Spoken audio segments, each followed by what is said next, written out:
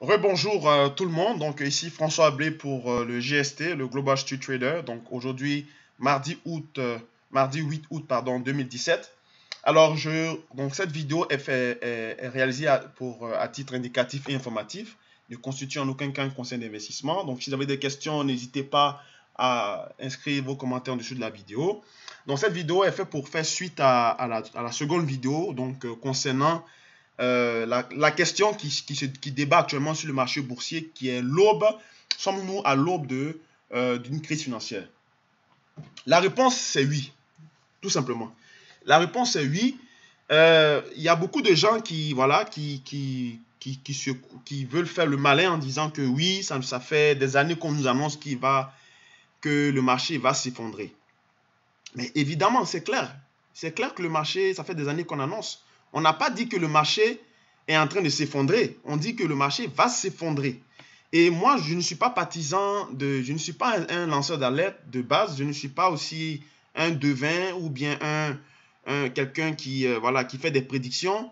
Euh, ce que je fais, ce n'est pas une prédiction. C'est simplement une, euh, un constat. J'établis un constat et j'établis également... Je fais en sorte que les gens soient conscients de ce qui va arriver pour profiter de cette, de cette situation. Parce que vous savez, dans chaque crise ou dans chaque crack boursier, euh, il y a deux possibilités seulement qui peuvent arriver. Soit les classes existantes, les classes sociales existantes se deviennent, c'est-à-dire l'écart entre les classes existantes euh, s'agrandit, ou bien euh, de nouvelles classes se créent, s'il n'y en avait pas de classes. C'est les deux, les deux possibilités qu'on puisse avoir. Donc, soit les riches deviendront encore de plus en plus riches, ou bien, on va avoir des riches qui vont perdre beaucoup d'argent pour que beaucoup, beaucoup d'autres personnes gagnent, puissent gagner beaucoup d'argent pour équilibrer. C'est tout. Et quand on, on, a, on, euh, on, dresse ce tableau, c'est pour permettre aux gens d'être conscients et de pouvoir en tirer profit. On n'est pas en train d'annoncer un cataclysme. C'est normal que le marché risque de s'effondrer pour les raisons que je vais détailler tout, tout à l'heure. Mais c'était pour dire que et puis, je ne suis pas, euh, je ne suis pas partisan de, de prédiction. Je n'aime pas faire de la prédiction. Moi, je suis plutôt quelqu'un qui, qui, qui est conscient et qui est, qui est préventif. Voilà. Il est parce que pour, il faut prévenir pour être prêt à réagir. Mais on ne peut pas dire qu'on va anticiper. Celui qui anticipe actuellement, mais c'est son compte qui, lui aussi qui va l'échapper. Parce que euh, c'est même si on établit, des hauts, des sommets de, plus en plus hauts, des, records, ça ne veut pas dire qu'il faut commencer à shorter le marché. Non, il ne faut pas commencer à shorter le marché. Mais il faut avoir ça en tête. Il faut être prêt. Donc, c'est un scénario que vous devez avoir en tête plutôt que de vous laisser emporter par l'euphorie d'acheter, d'acheter, d'acheter et après de vous surprendre par la baisse qui, arrive.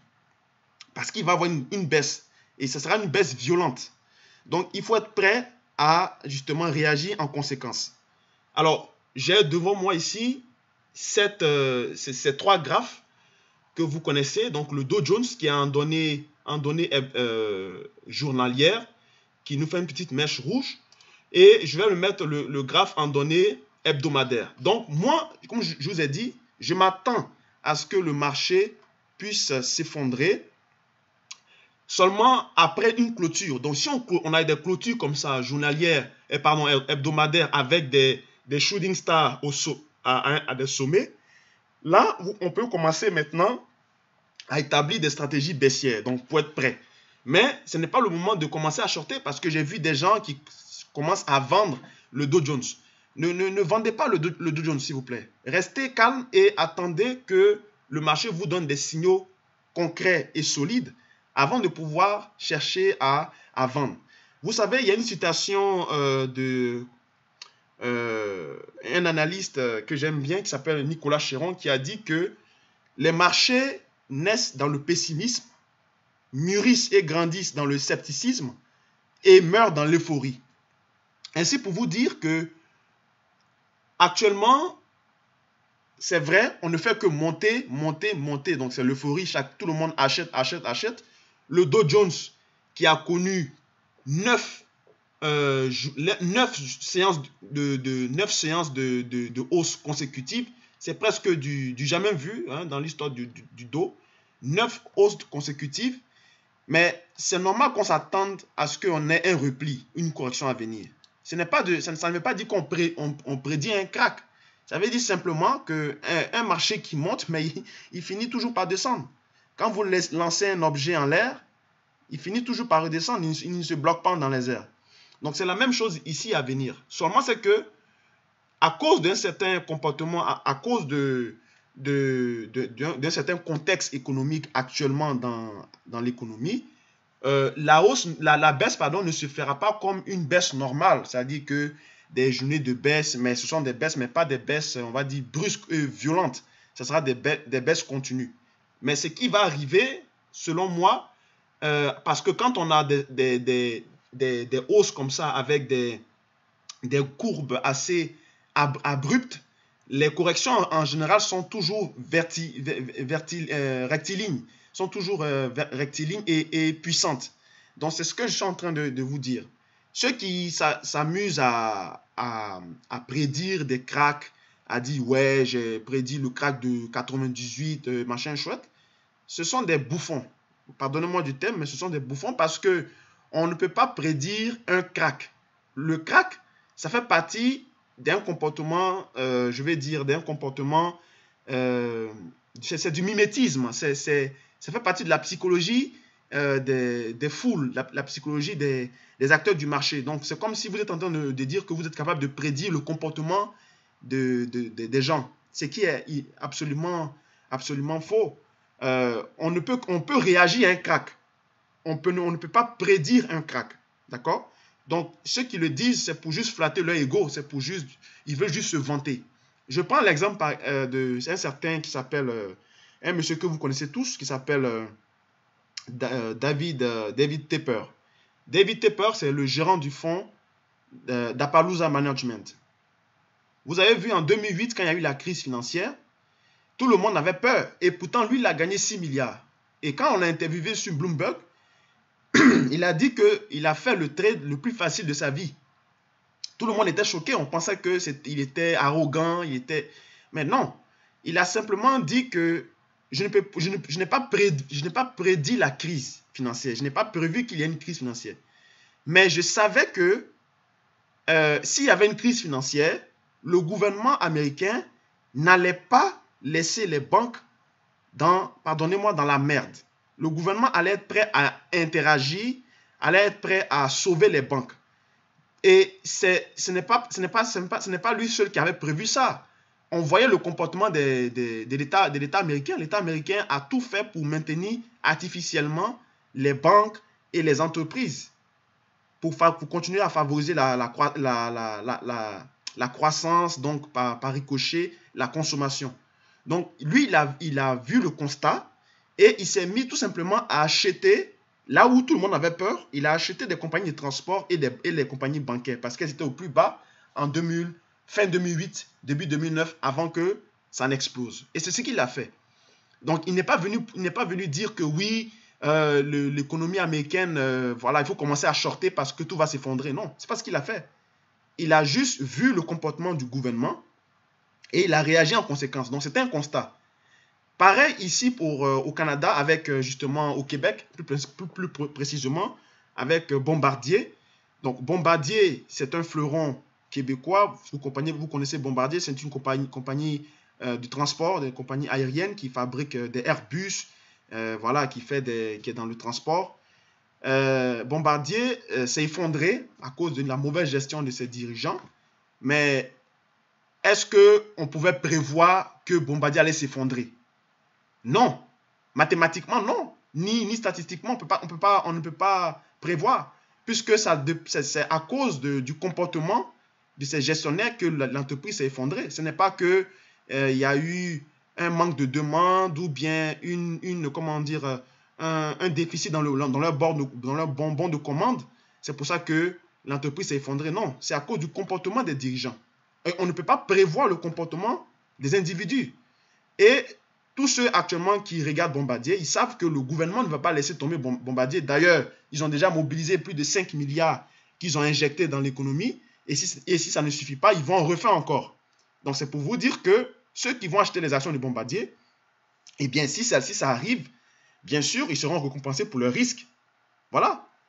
Si la crise financière se, ça arrive, est-ce qu'on devrait dire que, oui, moi, j'ai. Est-ce que moi, je devrais dire que oui, j'ai prévu un, crack boursier ou bien j'ai prévu que le marché s'effondre? Non, ça serait, ça, ça serait totalement me foutre de, la gueule de ceux qui suivent la bourse. Je ne peux pas prétendre savoir que le marché allait s'effondrer. Par contre, je constate avec vous, comme vous, que les signes de cette euh, crise financière sont bel et bien présents. Et si on n'y prend pas garde, ben, on risque de se faire surprendre. Parce que le but, c'est quoi? Le but n'est pas de tomber dans le piège de l'euphorie, de commencer à acheter, acheter, acheter, acheter. Il faut être conscient que ce n'est pas loin qu'on va qu'on risque de se retourner. Et le retour sera violent et brutal. Donc, pour ne pas être à contresens, c'est pour ça que nous conscientisons, nous donnons des messages de, de, de, conscience pour que les gens puissent être prêts lorsque la situation se produise, pour pouvoir en profiter. Mais ce n'est pas que je suis là pour prédire la crise. Je ne prédis rien du tout. Je ne sais rien comme vous. Euh, il y a M. Alan Greenspan, lui qui était un ancien patron de la Fed. Vous connaissez le grand monsieur avec les, grandes oreilles. Il est venu et il a dit sur CNBC que on, se retrouve dans des phases d'exubérance irrationnelle. Donc, vous savez, l'exubérance irrationnelle, ça veut dire que on est dans une phase de marché où tout monte. Les bons du trésor montent, les actions montent, les devises montent, tout en train de monter. Et quand on arrive dans, ce genre, de configuration, il est clair que bientôt, on va connaître un crack. Et ce crack-là n'est pas euh, un crack dû à euh, l'euphorie. C'est un crack aussi qui est provoqué parce que vous savez, quand on étudie l'historique des cracks, les cracks ont une, euh, un, c'est-à-dire que les cracks se produisent par année depuis maintenant 50 ans, entre 8 à 10 ans. Donc, juste pour faire un peu d'historique, on a eu un crack boursier à partir de un, crack boursier euh, provoqué par le choc pétrolier de 60, entre 72 et 74, donc la flambée des prix du pétrole. On a eu un crack qui s'est passé. Après, entre 81, pardon, entre 80 et 82, on a eu la, crise alimentaire qui a secoué le monde entier, où on a vu les artistes américains qui avaient chanté US for Africa, euh, We Are the World, que vous connaissez. C'était une, une crise alimentaire provoquée également par le coût par le brutal du marché des, matières premières, surtout agricoles. Euh, en 80, 80, 90, 91, on a eu euh, un crack obligataire, d'accord Suite à, l'augmentation brutale des, des taux d'intérêt aux États-Unis. On a eu également un crack en 94 euh, au niveau de l'immobilier, donc au Canada suite également à l'inflation, à la politique inflationniste, qui a d'ailleurs a, occasionné justement le fait que la Banque du Canada euh, crée justement un département au sein de la Banque du Canada qui s'occupe uniquement de la politique d'inflation et non pas seulement de, euh, de la politique monétaire. Et en 98, on a eu bien sûr la spéculation sur les, les, nouvelles entreprises rentrantes qui sont les dot-com et parce que les dot-com, c'était quoi? C'était des entreprises donc, euh, qui commençaient justement à faire de la publicité, qu'on allait rentrer dans une nouvelle ère de, de, de, téléphonie et d'Internet. Donc, ces entreprises-là commençaient à innover, à, à soi-disant innover parce que leur commerce en utilisant l'Internet. Donc, ça, faisait quoi? Ça gonflait artificiellement pardon, leur valeur, mais c'était des coquilles vides. Elles ne valaient rien, mais elles étaient sur, surévaluées parce qu'elles étaient considérées comme des entreprises à potentiel, avec NetGap, AOL et, et consorts. Bon, vous connaissez la suite. Hein? Entre 2000 2001, on a eu le, un crack. Et puis en 2008, on a eu le crack, le, le crack immobilier, le crack boursier immobilier qui a déboulé donc sur la crise financière en 2008. Donc 2007-2008, on a eu le crack immobilier. Mais cette fois-ci, nous, nous trouvons dans une configuration de crack boursier et obligataire en même temps. Parce que en général, c'est soit l'un ou l'autre. C'est soit un crack obligataire qui crée une crise financière ou un crack euh, immobilier qui, crée une crise financière. Mais cette fois-ci, on a les deux en même temps. Pourquoi? Premièrement, parce que la Fed, la Réserve fédérale, euh, est pris à son propre piège. Tout à l'heure, dans la première vidéo, je vous avais montré le tableau, un tableau des, chiffres économiques qui montrait que l'inflation core, c'est-à-dire l'inflation qui est en fait euh, d'où on exclut les, produits euh, les plus volatiles, notamment l'alimentation et l'énergie, restent au plus bas, sont bas. Et non, cette inflation-là est, est, attendue à une légère hausse. Maintenant, l'inflation réelle est attendue au plus bas. Normalement, c'est le contraire qui devait, devait se passer. On devrait plutôt avoir une inflation core plus bas et une inflation réelle augmentée. Mais cette fois-ci, là, on est dans une configuration où c'est le contraire.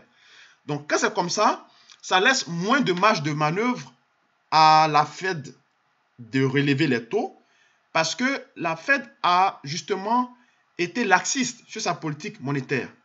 Depuis euh, la crise financière de 2009 jusqu'à maintenant, la Fed n'a jamais relevé ses taux. Et la Fed aurait dû relever ses taux en 2012 mais ne l'a pas fait. Parce que vous savez, en économie, nous avons ce qu'on appelle euh, la, loi d'Oken avec la coupe de Phillips, qui est un rapport entre le chômage et l'inflation. En général, quand l'inflation monte, le chômage euh, diminue. Et quand le chômage diminue, l'inflation monte. Ce qui est normal.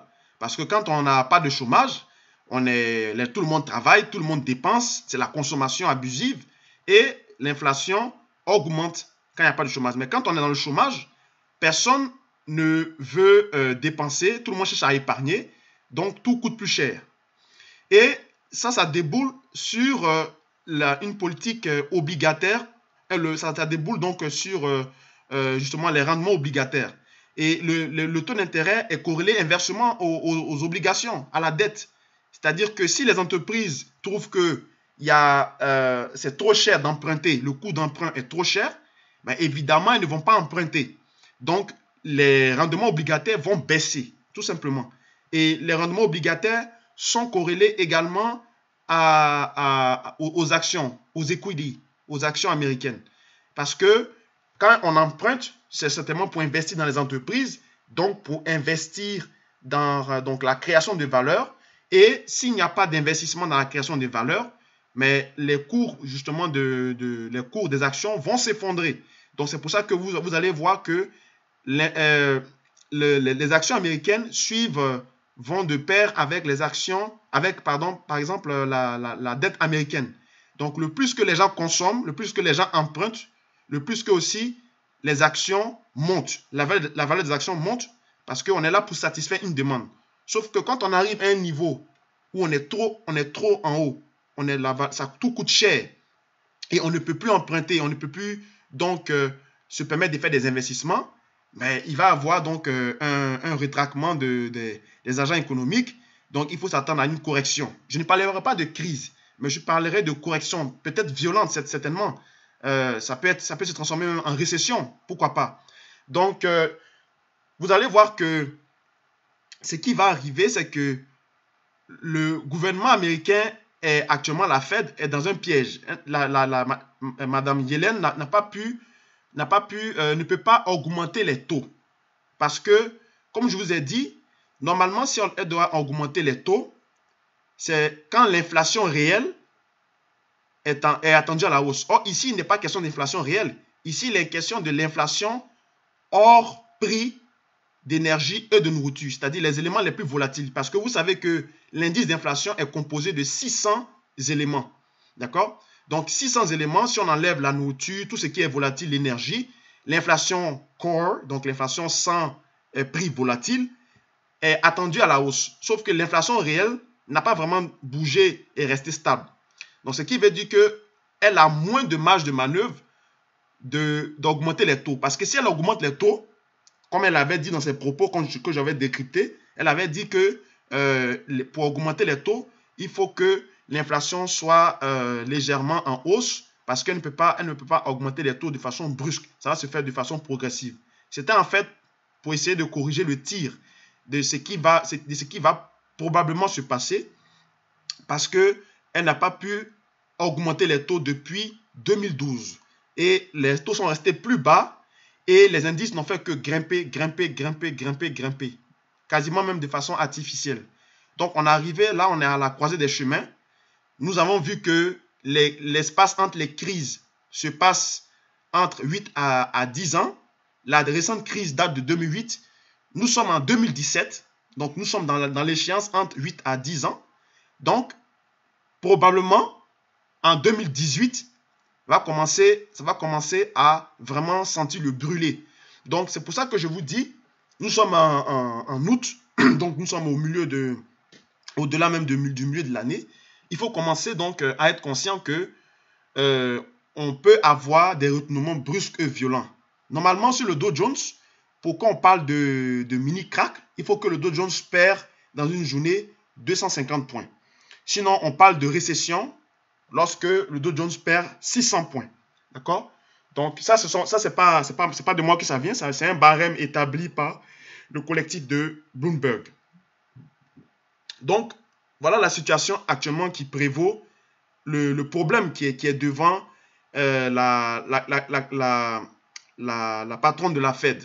Et euh, bien sûr, bien entendu, le représentant de, le gouverneur de, de la Fed de Saint-Louis, Mr. Euh, James Ballard, il avait dit que, avant-hier, que, euh, non pas avant-hier, avant hier, il avait dit que il n'avait pas besoin d'augmenter d'augmenter les taux d'intérêt parce que eux ils se basent sur l'inflation l'inflation l'inflation réelle pas l'inflation cause mais l'inflation réelle puisque c'est l'inflation cause c'est-à-dire l'inflation sans les produits d'énergie qui est attendue à la hausse et l'inflation réelle est toujours à zéro. Donc pour eux, euh, il n'y a pas d'urgence à augmenter les taux. Sauf que ça fait 9 ans déjà que vous aurez dû augmenter les taux et ça n'a pas été fait. Donc si vous ne euh, augmentez pas les taux, lorsque les, gens lorsque les activités économiques continuent toujours de, de, de, prospérer, il va arriver un moment où on ne peut plus satisfaire la demande et là, on rentre dans, une, on rentre dans la surchauffe. On est déjà d'ailleurs dans la surchauffe, mais ça va commencer plus à sentir le brûler moi, je crois que le, Dow Jones va continuer à monter jusqu'à 23 000 même, 23 000, 22 500, 23 000, pour commencer vraiment à vraiment se poser des questions et commencer à chercher donc son parapluie parce qu'il va pleuvoir, bien sûr. Et euh, au niveau donc de, de, ça, c'est suite à, au, commentaire de M. James Bullard, qui est le vice-gouverneur le patron de la réserve de, fédérale de Saint-Louis, qui est une réserve fédérale très importante aux États-Unis, euh, qui, qui, siège au comité du, FOMC, euh, que monsieur, l'ancien patron de la Fed, M. Alan Greenspan, a dit que on se retrouve dans une situation d'exubérance euh, irrationnelle où tout ne fait que monter. Le VIX est au plus bas. Le VIX n'a jamais été aussi bas, n'a jamais été aussi bas. Et il faut s'attendre à ce que tout commence à, s'enfoncer. Quand il avait dit 196, les gens n'avaient pas pris au sérieux. Ils, avaient, ils s'étaient juste concentrés juste sur le terme exubérance irrationnelle. Au point même que M. Robert Schiller, qui est économiste euh, et professeur d'économie à l'université de Yale, avait a écrit un livre qui s'appelait justement Irrational Exuberance. Et été repris dans plusieurs chaînes où on, se moquait de ça parce que lui, il avait vu justement que si ça continuait comme ça, ça allait, euh, chuter. Mais Alan Greenspan n'a pas prédit le crack boursier. Il a simplement alerté les gens et il, les avait mis devant un constat qui s'est matérialisé justement au printemps 2000, 2001. Donc, euh, il faut être clair dans ce qu'on fait on n'est pas en train de prédire. Parce que quand vous prédisez, c'est-à-dire que vous devez donner une date clé. Alors que lui-même, qui est l'ancien patron de la fête, ne prédit pas, n'a pas donné de, date clé. Il a simplement averti l'opinion financière, la communauté financière, de faire attention à ce qui est en train de se passer parce que on est proche d'un crack obligataire. Parce que si la fête se trompe, puisqu'elle n'a plus de marge de manœuvre, si, elle se trompe à augmenter brusquement parce qu'elle est en retard sur sa politique, euh, sa politique monétaire, il va avoir un crack obligataire et ça va créer également par, ricochet un crack immobilier parce que l'immobilier, tout coûte cher. L'immobilier est au, est au, plus haut depuis, depuis, euh, depuis au moins 12, 11, 12 ans.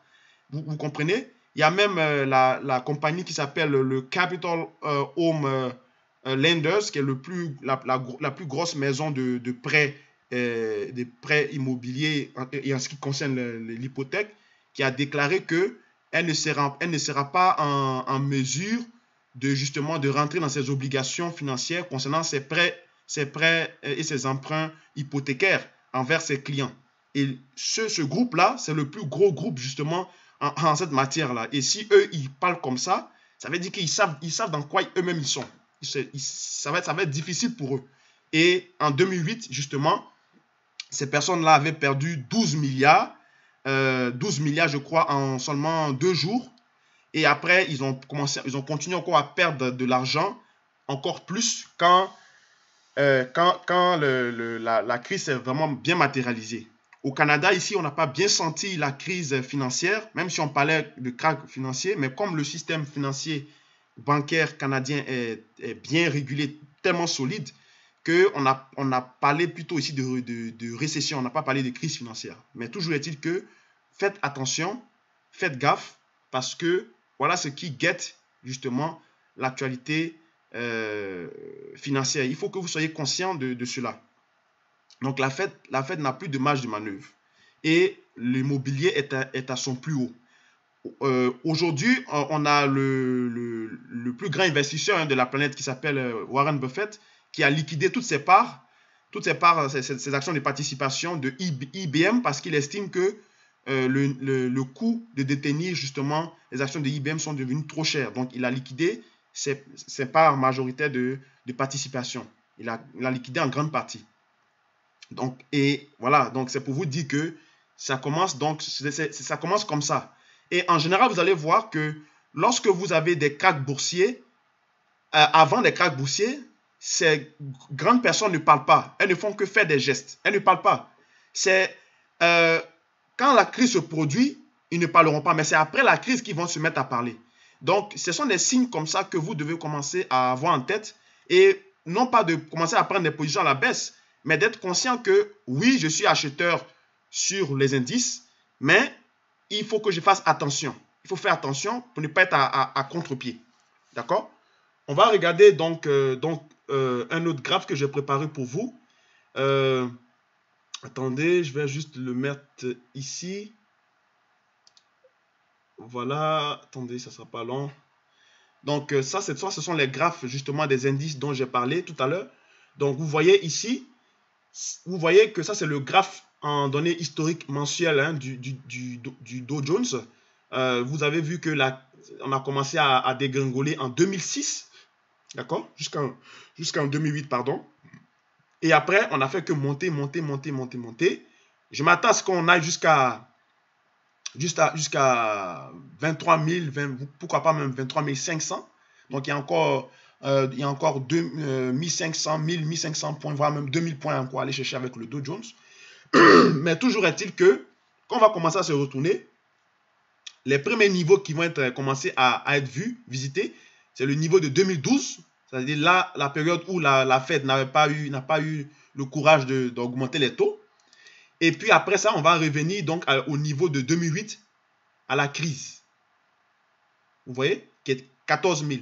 Donc, pour faire tout ce canal-là, pour revenir toucher le bas du canal, ça va être donc euh, au moment où on va être dans la, dans la zone de surchauffe pour commencer à se retourner violemment.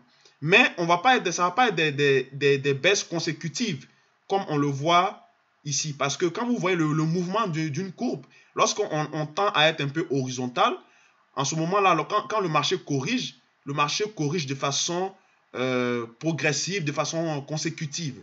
Mais quand on voit des mouvements comme ça, rectilignes, des courbes abruptes, les, retournements sont aussi autant plus violents que les, progressions.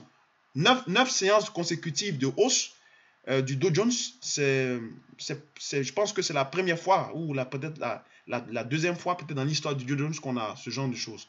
Donc, c'est très, très significatif. C'est pareil pour le Nasdaq.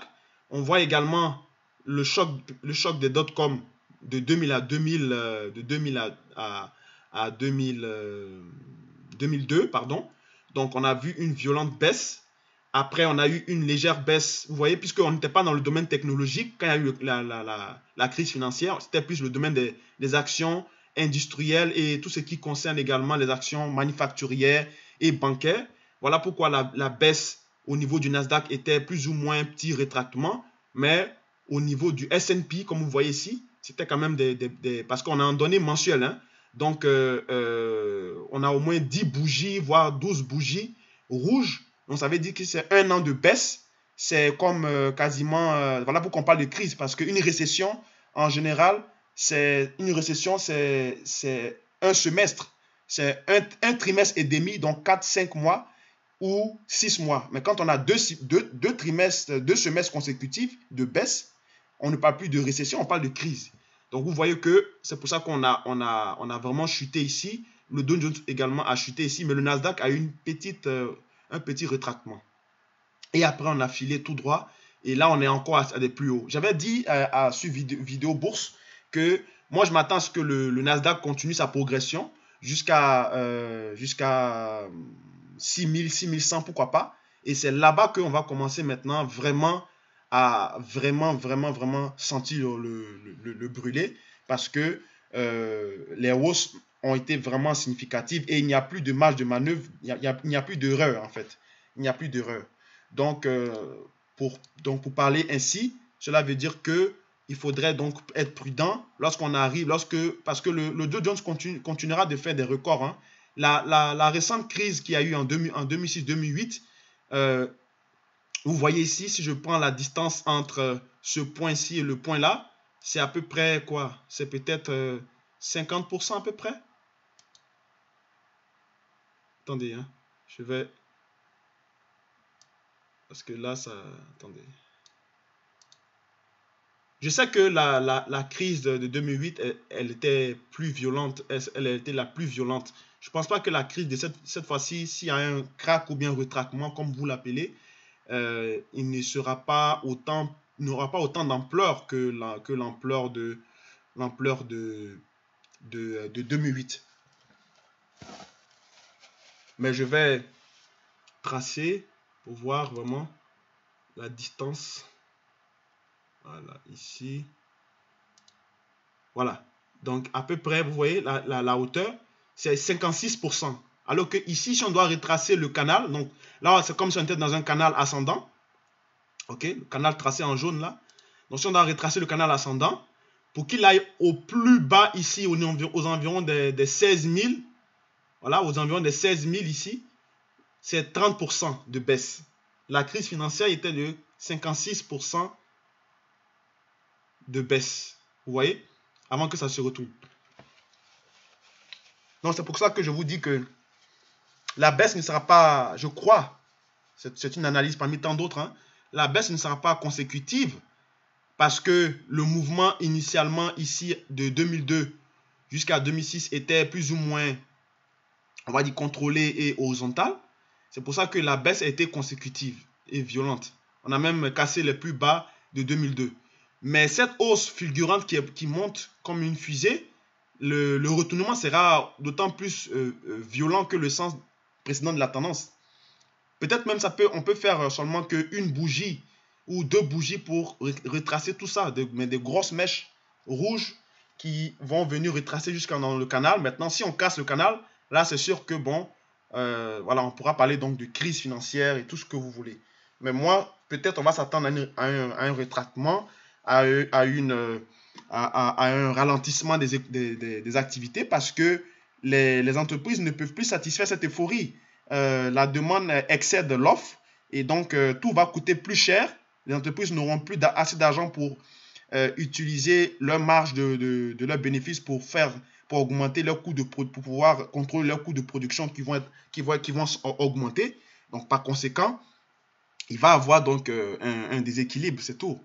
Donc, il ne faut pas donc être, faut pas avoir, faut pas être dans, dans voilà, dans, dans, l'extravagance pour parler donc, pour commencer à, à shorter le marché, pour dire oui, tout va s'effondrer, alors je prends. Non, il faut pas anticiper.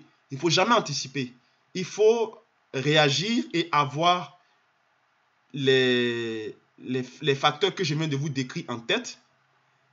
Donc, probablement crack obligataire, probable, et crack immobilier probable. Donc, ce sont les deux qui vont causer, parce que habituellement, c'est soit l'un ou l'autre. C'est le crack obligataire qui crée, une crise financière ou un crack euh, immobilier, qui, une bulle immobilière qui craque, qui cause, ou bien un choc pétrolier. Mais cette fois-ci, ce sont les trois, les deux ou les trois qui, seront en même temps. Parce que le VIX est au plus bas et vous voyez que le comportement de, des investisseurs en bourse n'est plus, de commence à ne plus être rationnel. Mais on ne peut pas anticiper le comportement justement des agents économiques. On ne peut que réagir à cela. Mais pour réagir, il faut avoir cette idée en tête qu'ils peuvent faire ça. Donc, si c'est un scénario qui se produit, en ce moment-là, nous réagirons en conséquence. Mais on, ne peut pas prendre, on ne peut pas euh, commencer à dire que, oui, je vais me mettre à shorter les indices, je vais me mettre à, à, comment on dit ça, à, à, prédire que tout va, tout va baisser. Ce n'est pas possible de raisonner comme ça. Ceux qui disent qu'ils anticipent des cracks, c'est très bien qu'ils continuent d'anticiper les cracks, et puis bon, on verra. Donc, euh, euh, mais moi, je trouve que ce sont des, bouffons, ce pas des gens sérieux. C'est peut-être pour, flatter leur ego qu'ils euh, agissent ainsi, parce qu'on ne peut pas prédire le comportement. C'est comme souvent certaines personnes qui s'amusent à prédire le discours de Mario Draghi, comme si c'était dans, dans, sa tête. Ah, on ne peut pas prédire le discours de Mario Draghi. On, ne peut que réagir en conséquence de son discours. Vous comprenez? Donc, c'était ça que je voulais donc euh, vous, euh, vous expliquer. Je voulais aussi vous montrer aussi deux graphes, des graphes, pardon, pour finir notre, notre émission. Ce sont des graphes au niveau des performances réalisées des indices, justement, euh, sur deux ans, donc en 2016 2016 et 2017, vous voyez la performance des indices. C'est une comparaison hein, entre les indices européens et les indices américains. Donc les indices européens, euh, ben, l'indice le, le, graphe en gris, c'est le graphe de référence qui est l'Eurostock, qui vous voyez est en dessous de, euh, du CAC 40.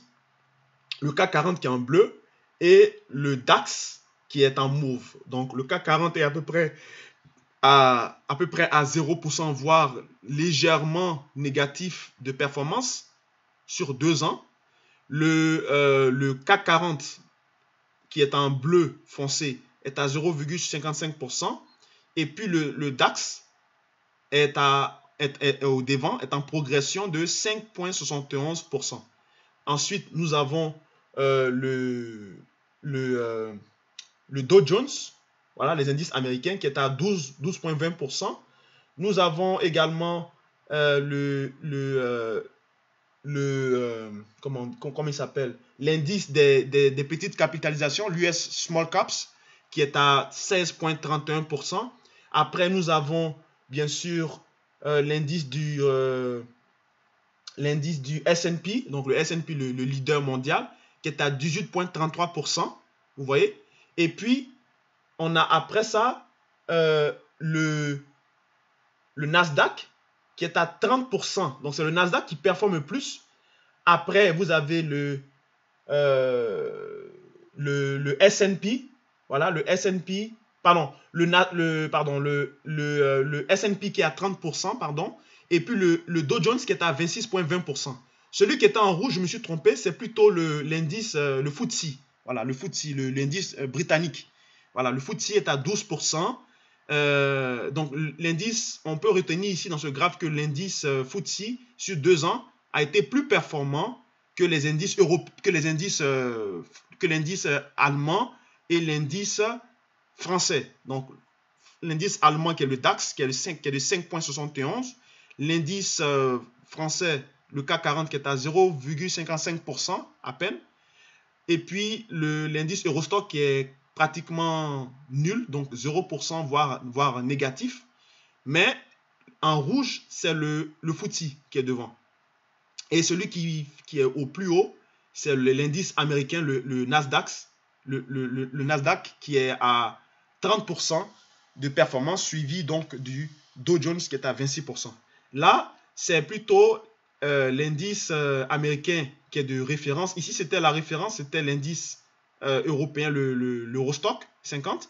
Ici, c'est le S&P qui est en référence. Donc, c'est une comparaison entre les indices et les, les rendements obligataires donc, et, la dette. Donc, le T-bond et le, le, T-note sont euh, en consolidation, mais ils sont légèrement, ils sont en baisse comparativement aux indices américains. Donc, depuis sur deux ans, donc vous voyez que ça justifie donc ce que je suis en train de dire tout à l'heure, qu'il y avait donc une euh, exubérance irrationnelle. Donc, parce qu'en général, les indices devraient progresser en même temps avec les, rendements obligataires, mais ça n'a pas été le cas sur deux ans. On a plutôt vu les, rendements obligataires dus au fait euh, au, rendement des dividendes sur la dette, puisque les, les, échéances commençaient à être de plus en plus serrées du point de vue de la sous-performance de, l'obligation, ce qu'on appelle justement la, la duration, donc qui est, le, ratio entre la, durée ou bien le terme des, des rendements d'obligation ainsi que leur performance en tant que telle. Donc c'était au plus bas. Voilà pourquoi on a vu que, euh, on voit que sur deux ans, les, plus personne ne s'intéresse aux au, T-bond et aux Treasury Notes, donc les T-notes, et tout le monde se concentre plutôt sur la consommation, donc euh, sur les indices américains qui ne font que performer. Et on, remarque encore que le, euh, le, Nasdaq qui est toujours, qui est toujours plus haut à cause bien sûr des entreprises comme Apple ou bien Intel Inside qui ne font que, et Google bien sûr, euh, Google, bon, récemment, qui a eu une amende, mais Google et puis Apple et Intel Inside avec Facebook, ce sont des entreprises là qui boostent justement les indices, l'indice des valeurs technologiques grâce aux innovations puis aux nouveaux produits qu'ils développent. Voilà pourquoi ils sont poussés dans le, dans le, dans, le ciel, ainsi que le, le, Dow Jones, qui est les entreprises manufacturières, euh, comme par exemple le, euh, comme Caterpillar, comme également d'autres entreprises de consommation comme McDonald's, comme Walt Disney. Donc, ce sont les, leaders justement en termes de pondération, bien sûr, de, l'indice qui s'amènent à justement propulser les indices américains vers le sommet. Et le S&P, sur deux ans, qui a réalisé une performance d'à peu près 20%, donc aux alentours de 18, 18% 19%. Voilà.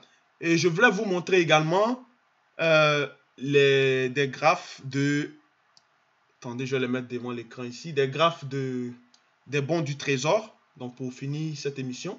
Donc les bons du trésor, euh, vous voyez qu'il y a une progression des bons du trésor, parce que ça c'est un graphe historique, je vais le mettre euh, au max. Donc ces, données-là, vous voyez, ces données sont de, de, 2000 jusqu'à 2016. Donc grâce à la politique, des politiques accommodantes des, Américains à maintenir les taux bas, on voit que les bons ne fait que monter jusqu'à aller au plus haut, aux alentours des euh, aux alentours des 180 points. Quand on a commencé à parler de, euh, d'augmentation des taux, on a vu que les, bons du trésor ont commencé à chuter drastiquement. Même constat sur le T-Note qui est, voilà, qui est, qui, est, qui est ici. Et on voit aussi que depuis les années 2000 jusqu'à la récente crise de 2008, quand on a eu la baisse, on n'a fait que monter également. Euh, pas, par exemple dans la même proportion que le, T-bond, parce que ça c'est le, les bons du trésor, ça c'est le gouvernement américain. Ici c'est les T-notes, donc les, Treasury notes c'est les bons du trésor, mais de la, réserve euh, fédérale, donc euh, concernant justement les entreprises. Donc ça c'est échéance 10 ans, c'est le max, que vous, le pouvez avoir. Vous avez soit 3 ans, 5 ans ou 10 ans. Donc on a vu que ils ont commencé à tous monter. Et la dette européenne, qui est l'eurobond, dont compte 0,35% de la dette, euh, la dette européenne, qui est la, la, dette allemande, 0, ah, qui est pondérée à 0,35%. On a vu que la, la, on voit que légalement la, la politique accommodante de la BCE euh, a fait monter justement cette, euh, cette, ce, ce, produit-là jusqu'à en 2016, quand on, quand on a commencé à parler de fin de QE et probablement aussi euh, rachat, donc, euh, rachat, donc fin, fin du rachat des, des, des, le rachat des actifs qui est passé donc de 80 milliards par mois à 60 milliards. Donc progressivement, on réduit ça. Donc on voit que on a des corrections et si vraiment le, le plan est mis en exécution, on va peut-être casser cette droite de tendance là. Voilà, si on la dessine. Juste pour avoir une idée technique là pour finir donc notre émission. Si on la casse, on va peut-être avoir, on va certainement avoir donc des, corrections et puis pourquoi pas euh, la baisser. Donc ça c'est en, en cours de clôture là. Donc en cours de clôture pour avoir vraiment la, la, de la, de la pente. Donc euh, si on casse, donc euh, on va corriger et si on ne rebondit pas sur le 150, qu'on casse le les, 150, c'est sûr qu'on va se diriger bien sûr plus bas et ça sera donc la fin, donc la fin de, de, ce programme de, rachat de euh, programme de rachat des actifs par justement cette politique accommodante de la, la Banque Centrale Européenne qui, je dois dire, euh, l'Allemagne a envoyé un signal fort en leur disant que il, voulait, il souhaitait vraiment arrêter euh, ce programme qui ne fait que endetter l'État allemand et également leur fait adosser justement cette, cette, cette ce, ce, poids de la dette qu'ils supportent de la part des autres pays européens tels que la Grèce et les autres pays que vous connaissez. Voilà. Donc, j'ai fini donc cette émission. soyez prudents c'était une émission, ce n'était pas pour vous faire peur, c'était juste pour vous, pour vous mettre en garde, d'être conscient, de ne pas tomber dans les pièges euh, haussiers, dans les pièges, dans les pièges, euh, voilà, dans les pièges exubérance, voilà, où on ne fait que acheter, acheter. Si vous achetez, soyez prudent, adaptez votre stratégie en fonction euh, de, du momentum. C'est juste ça que moi je, je, privilège dans, ma, dans, dans, dans ma stratégie. Je privilégie, pardon. Donc, je, privilégie des, stratégies de momentum pour pouvoir au moins euh, profiter de chaque mouvement lorsque l'occasion se, montre à mes yeux. Donc, portez-vous bien et puis n'hésitez pas de, commenter cette vidéo et puis de la partager également. Et puis voilà, euh, d'être prudent sur les marchés. Merci beaucoup et passez une bonne journée. Au revoir.